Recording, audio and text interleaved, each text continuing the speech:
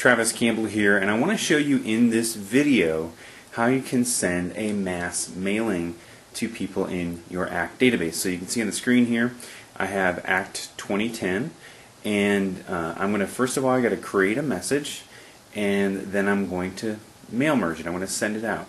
Now, there's more than one way to send an email out to a group of people.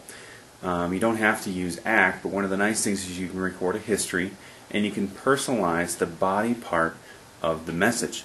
So I'm going to actually uh, just let you know that in advance I have Outlook as my email package and that's what's integrated with ACT. It's already set up. Not, i don't have the time to, to, show you that in detail in this video. Um, but what I'm going to do is I'm going to write a new email template. I'm actually going to go and edit an existing one. So I just go to the right menu and I choose uh, Edit Template. And you can see I've created this uh, holiday email here. And I'm going to go ahead and open that. That opens it up in Microsoft Word, which is the editor um, that's set up on this particular computer. So you see it in the background here. Here's the uh, and all the merge fields. I can drop any merge fields that I wish into the message. I've already set that up. So you can see it says uh, salutation, which is essentially their first name, and uh, wishing you the best Thanksgiving holiday ever. Obviously, if you want to say something a little bit more meaningful than that, um, merge my contact information in here uh, that I'm logged in as on this particular database. I'm logged into the ACT demo database. So it's going to prompt me to save this. I'm going to say yes. And then the next thing we need to do is merge it. Now, I recommend that uh, you kind of clean up your database and you look up the folks that you want to have this message first. And then once you have that lookup established, uh, you go ahead and merge it and you merge it to the lookup. For purpose of this video, I'm just gonna I'm using the demo database. I'm not gonna take the time to do that um, because this is not gonna be a real mail merge. But I'm just gonna do it to a group. I'll show you what I mean. So write mail merge and one strategy for tracking purposes is you can create a group that's just for this specific merge so you know who you would send it to and you can quickly find them in the system. So I'm going to go ahead and hit next to this wizard and I'm going to send this message with email so I'm going to choose the email option and then I'm going to browse for that holiday template. Hit the browse button and you'll see it right there and I will go ahead and move this window up so we can see it. Uh, hit open Next, and this is where you would just leave it at current lookup if uh, you're following my recommended path. In this situation, as I mentioned, I'm using the, uh, the demo database. So I'm going to go over here and I'm going to hit this drop down and choose a group. I'm going to choose key customers from the demo database here. I'll hit next. And you may have a situation, uh, oh, first of all, enter the subject. And here's where you can determine what you want to record as a history. Since this is going to be a a mass mailing message. I recommend subject only. It's less intensive in the database, but it also allows you to know, you know, whether um, someone was sent the message or not. Hit next, and then it's an it gives you some options for missing email addresses. Um, you know, omit those records from the email merge, which is what is set by default, which I recommend.